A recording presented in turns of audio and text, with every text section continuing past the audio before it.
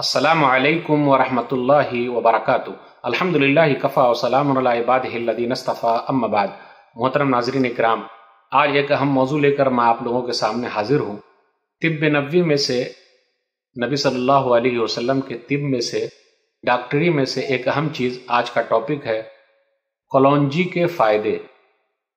حبہ سودا کے فائدے، بلیک سیڈز کے فائدے۔ ناظرین کرام سامعین کرام پوری دنیا پریشان ہے کرونا وائرس سے۔ نبی صلی اللہ علیہ وسلم نے جو دوائیاں بتائی ہے ہمارے فائدے کے لیے یقین رکھیں۔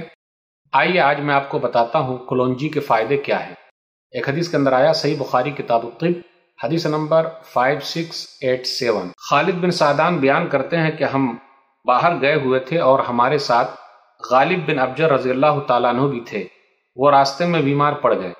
پھر جب ہم مدینہ واپس آئے تو اس وقت بھی وہ بیمار ہی تھے۔ ابن ابی عتیق ان کی عیادت کے لیے تشریف لے گئے اور ہم سے کہا، انہیں یہ کالے دانے کلونجی استعمال کراؤ، اس کے پانچ یا سات دانے لے کر پیس لو۔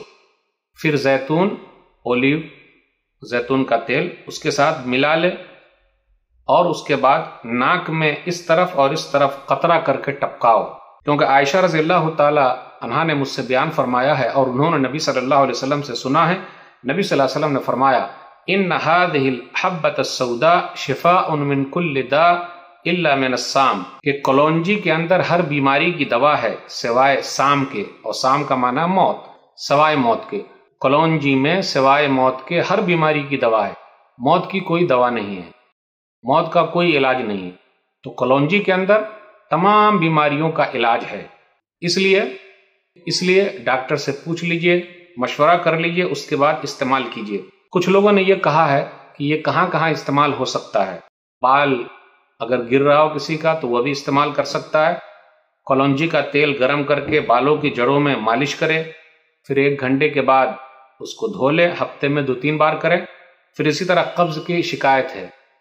یعنی کھانا ہضم نہیں ہوتا۔ تو کولونجی کے تیل کی کچھ مقدار کو لے لیں اور کالی چائے میں ملا کر پئیں اور اس طرح کچھ دنوں کرنے سے فائدہ ہوگا۔ پھر اسی طرح ڈائبٹیز کو اگر کنٹرول میں رکھنا ہے تو کچھ لوگوں کا کہنا یہ ہے، حکیموں کا کہنا یہ ہے کہ ایک چائے کا چمچہ تیل جو کولونجی کا ہے وہ لے لیں، ایک کپ کالی چائے لے لیں اور چند ہفتے استعمال کریں، فائدہ ہوگا۔ تما کے مریض یعنی سانس کا مسئلہ ہے، تو کولونجی پیس کر اس میں ذرا شہد ملا لیں، پھر مکس کو گرم پانی میں ملا کر پئیں سانس کی تکلیف، دمہ وغیرہ کے لیے آسانی ہے۔ ایک ڈیڑھ مہینے تک ایسا کریں اور ٹھنڈی چیزوں سے بچ کر رہیں۔ سر میں درد ہے۔ تو اب کیا کرنے کا؟ کولونجی کے تیل سے مالش کریں۔ آج کل ٹھنڈا ٹھنڈا کول کول لوگ ٹی وی پر دیکھتے ہیں، اس کو بہت استعمال کر رہے ہیں۔ نبی صلی اللہ علیہ وسلم کا طب استعمال کیجیے نبی صلی اللہ علیہ وسلم کی ڈاکٹری استعمال کیجیے انشاءاللہ فائدہ ہوگا۔ پھر اسی طریقے سے جسمانی چربی کو پگھلانے کے لیے بھی فائدہ مند ہے۔ گرم پانی ہے، شہد ہے، لیمو ہے، تو اس میں بھی کولونجی کا تیل ذرا شامل کر لیں۔ کچھ دنوں تک استعمال کریں گے تو اس میں ذرا فائدہ ہے۔ پھر اسی طریقے سے جوڑوں کا درد ہے۔ تو کیا کرنے کا؟ کولونجی کو لے لیں اور کھانے کا جو تیل ہے، مسٹرڈ آئل جو ہے، اس کو گرم کر کے تیل میں سے جب دھواں نکلنا شروع ہو تو چولہے کو بند کر دیں۔ پھر جب ٹھنڈا ہو جائے تو وہ چیز کو لے کر جہاں درد ہے، وہاں پر لگا دیجیے۔ انشاءاللہ فائدہ ہوگا۔ بلڈ پریشر کو کم کرنے کے لیے بھی فائدہ مند ہے۔ آدھا چمچہ کلونجی کا تیل لے لیں گرم پانی میں ملا لیں اور اپنی عادت بنا لیں انشاءاللہ فائدہ ہوگا۔ تو کلونجی کے اندر، جس کو حبہ سودا کہتے ہیں عربی میں، اور انگلش میں کہتے ہیں بلیک سیٹ اس کے بڑے فائدے ہیں۔ موت کے علاوہ ہر بیماری کی اس کے اندر شفا ہے۔ اللہ سے دعا ہے کہ اللہ جو بیمار ہے شفا کل عطا فرما۔ کورونا وائرس سے جو لوگ پریشان ہیں، اللہ ان کی پریشانی کو دور کر دے۔ ایک اہم بات یہ بتا دوں، کوئی بھی چیز استعمال کرنے سے پہلے ماہر ڈاکٹر سے پوچھ لیجیے، ورنہ آپ کہیں گا اگر مولی صاحب نے بتایا۔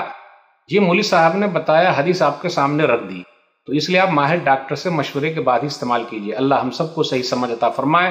جو بیمار ہے اللہ شفا کلی عطا فرمائے، آمین۔ والسلام علیکم ورحمۃ اللہ وبرکاتہ۔